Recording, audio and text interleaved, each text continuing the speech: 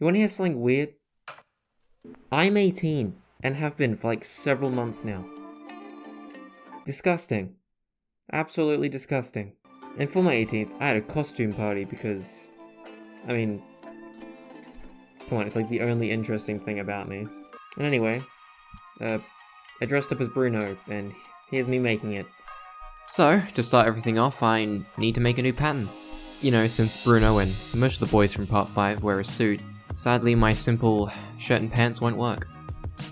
To make the new pattern, I just fitted my old school jacket as if it were a suit. I tried my best to make it so that it would have that sort of slim waist that Bruno has, which pretty much just means I made the waist as tight as possible while having the shoulders and this bit be a little bit loose. Though to make the sleeves I just used this video. So, if you want to know how to make them, just go watch that, because I'm not even going to try and explain how to make those. Anyway, after everything was fitting the way I wanted it to, I then cut it all up and turned it into a paper pattern. And after cutting the pattern out and pinning everything together, I did a little bit of sewing. And after all that, I tried something that, frankly, I should have been doing for a very, very long time. Something that would have made most of my cosplays just a little bit nicer. I ironed all the seams.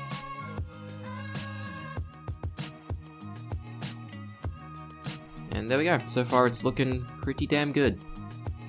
I then made up some nice lapels and added them to the jacket. I then also added the sleeves. Okay, so as you've probably noticed by now, I've been using binder clips to hold the jacket together, but sadly that's not going to work in the long term, so I added these things. In the anime, Bruno uses a zipper there, but I didn't notice that till now, so um, shit.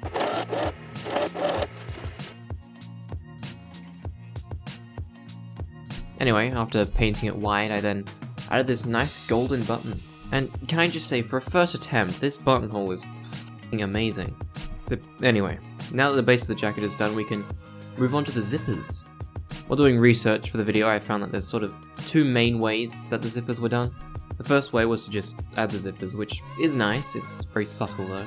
And the second way was to sort of give the zippers a sort of outer lining, which I think looks way better, so that's what I'm gonna do.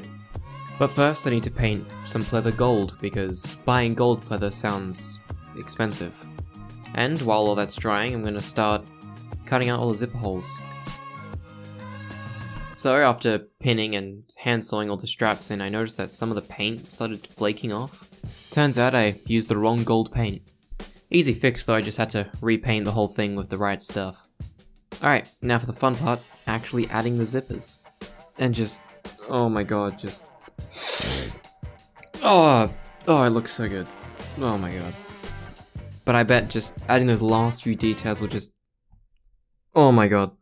Holy sh that is... That is beautiful. And after just a little bit of cleanup, it's uh, it's all done.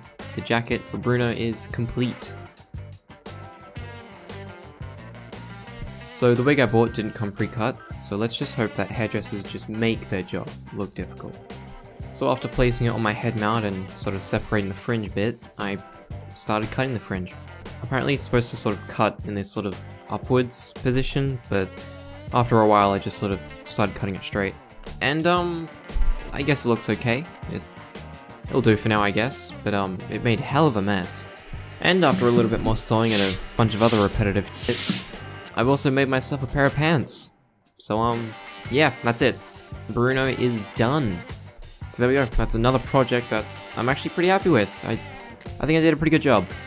Although the shoulders are a little bit stiff, you know, it's sort of too tight around there, so flexibility is not as great as I'd like, but other than that, it looks great, and it feels great for the most part, I guess. Alright, get out of here, you rapscallion.